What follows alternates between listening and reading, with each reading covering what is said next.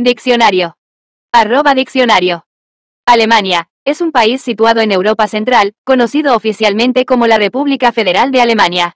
Limita con países como Francia, Suiza, Austria, Polonia y Dinamarca, y tiene una rica historia que abarca desde el Imperio Romano Germánico hasta la actualidad como una nación influyente en la Unión Europea.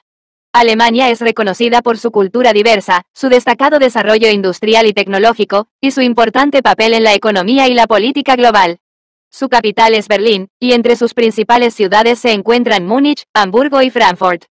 Alemania es famosa por su patrimonio cultural, su tradición en la filosofía, la música y la literatura, así como por sus festividades, como el Oktoberfest, y su gastronomía tradicional.